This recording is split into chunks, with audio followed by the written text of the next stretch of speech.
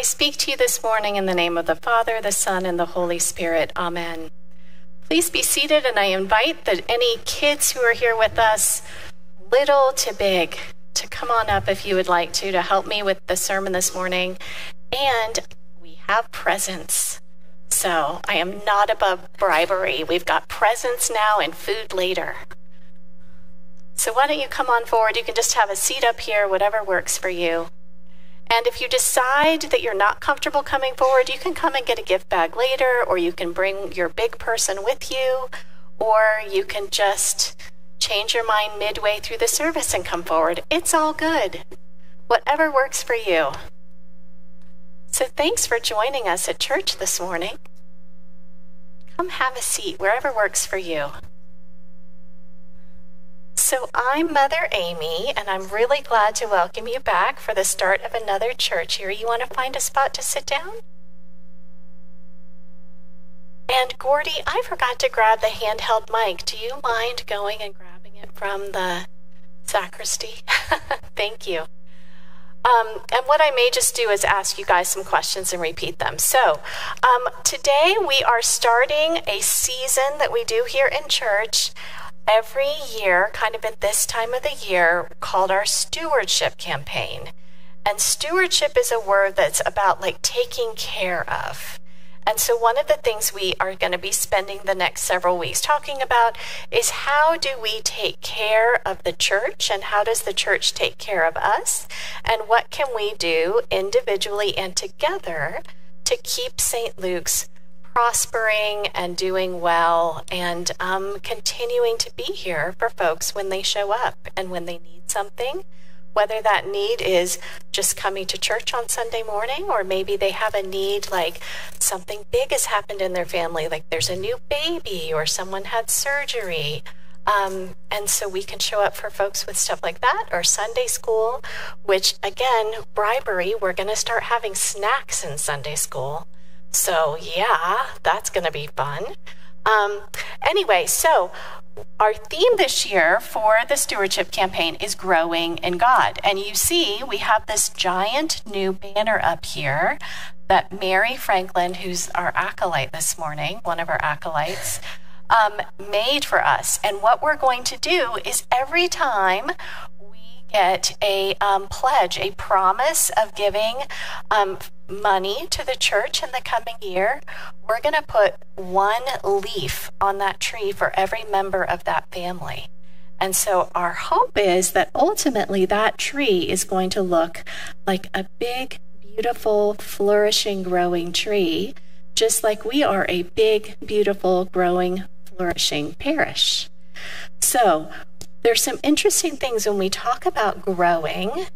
Um, one of the things that's really amazing is I'm sure, you, well, you may have heard of a man named Darwin who came up with um, the theory of evolution, which is that things grow and change with time. And some people think God and science are two separate things.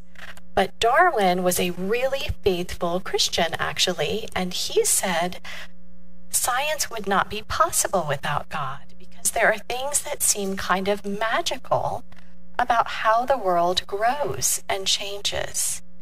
And so, one of the things that's wonderful is as things grow and change, we're able to do more things. So, for example, can any of you think of something that you can do now that you couldn't do when you were smaller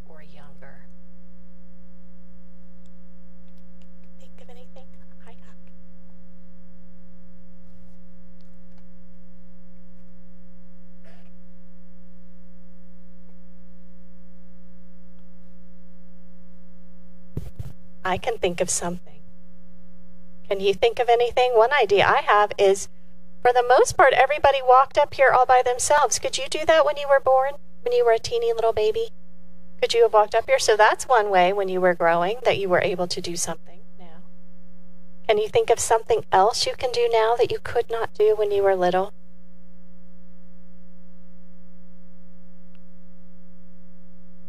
They aren't hard questions, I promise. Did you pick out your own clothes when you were little? When you were a baby? Nope.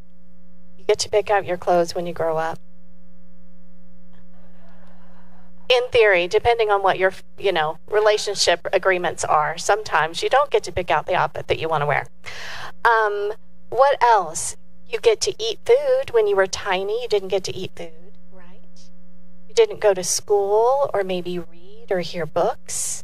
You didn't get to ride a bike or run or play on the playground or learn new things or color pictures or dance or all these things. And then you get bigger and you start to do things like driving cars and maybe going to college or learning a new skill so you have a job and you meet new people and maybe you make your own new family that adds to the family you already do. And so growing means all sorts of amazing things happen. And we all grow in different ways. We look really different as we grow, and that's good too. And one of the things that we know from evolution is we evolve and change in ways that help make the system better. So I know when I first arrived here a year ago, when I invited folks up, we had maybe one person who came up, or maybe two. And look how many people we have up here right now. It's really exciting. And we have a choir that's been growing. We've got new people who are wanting to join our choir, and we have new faces who were not here a year ago. And so there are all sorts of ways that we're growing. And so, one of the things that is in your gift bag that I want to give you that's an example of growing, but we don't always know the direction that we're going to go, is we try to do the right thing, right? And that doesn't always happen, but we try to follow the rules or the instructions. And does anybody know what the number one rule that Jesus told us to do is. We heard it again today. The one rule, yeah. Love your neighbor as yourself. That's right. Love God and love your neighbor as yourself. And today we heard, like, basically, love. You just got to love. That's the rule. And so when you show up and you love, surprisingly things surprising things can happen. And one of the things I love is science experiments. So, in the bag today, what you are going to get is a science experiment to grow your own crystals at home. And there are instructions, and I take no responsibility for it being messy or hard. So, you know, that's on you and God. So, but I will pray that they all work out. So they're kits. And what's really neat is there's a picture, there's an idea of how this crystal might grow, and maybe even an expectation for how it's going to grow, but you don't know for sure what's going to happen, what color it might be, or what shape it might be. It might be round, it might be spiky, it might have points. And that's the thing. Each crystal is going to be so pretty. The other really fun thing about these crystals is they glow in the dark. So, if you want to put it in your room, then at night when you turn the lights out, you will have a little glow in the dark thing there for you. Again, your results may vary. But what's really cool is that's a reminder of how when we're all growing, we're not alone, right? Like you're there with that crystal, and that crystal is there with you just like your family is with you and your community here. Like, no matter what happens as we're growing through our lives, people are with us, God is with us, and love shows up. And so, one of the beautiful things is when we show up and we're growing in God and we're giving the best that we can and what we have, beautiful things happen, even if they're beautiful in an unexpected way. So, has anybody ever grown a crystal? You have? Did it work? No, it did not work. Well, we are going to pray the heck out of these crystals. We're going to trust they're going to work.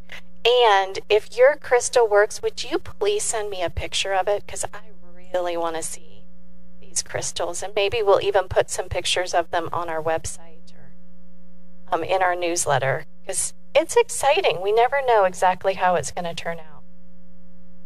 So, as you're thinking about how you're growing and changing and remembering that love is the most important thing, let's show up and trust that we are growing together in the direction toward love. and that things are going to appear as they are supposed to appear. And we will meet them with love, even if they're hard or they're a little bit challenging or disappointing, which hopefully is not going to be what happens with the crystals.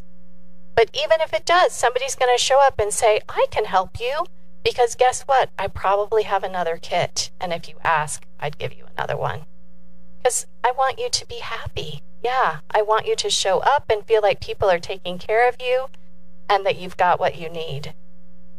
So, my invitation to you as you get ready to go back to your seats if you are un, if fifth grade or younger, the bags closest to the altar have things that you will most enjoy, and you can pick out any of the bags that you like.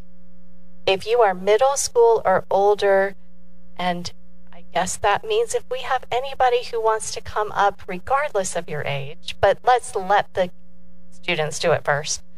Um, the bags that are on the kneelers are yours, and you're welcome to come and grab one.